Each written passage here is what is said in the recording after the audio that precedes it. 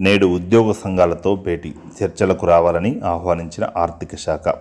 పీఆర్సీపై ఉద్యోగ సంఘాలతో ప్రభుత్వం మరోసారి చర్చలు జరుపుతుంది. గురువారం సచివాలయంలోని రెండో బ్లాక్లో ఉద్యోగ సంఘాలతో ఆర్థిక శాఖ అధికారులు సమావేశం నిర్వహించనున్నారు. ఈ సమావేశానికి హాజరు కావాలంటూ పలు ఉద్యోగ సంఘాలకు ఆర్థిక శాఖ ఇప్పటికే ఆహ్వానం పంపినట్లు తెలిపింది గతంలో జరిగిన ఏ సమావేశంలోనూ పీఆర్సీపై స్పష్టత రాలేదని కనీసం ఈ సమావేశంలో అయినా ఈ విషయం కొలికి వస్తుందా అని ఉద్యోగ సంఘాల నాయకులు లక్షలాది మంది ఉద్యోగులు ఎదురుచూస్తున్నారు.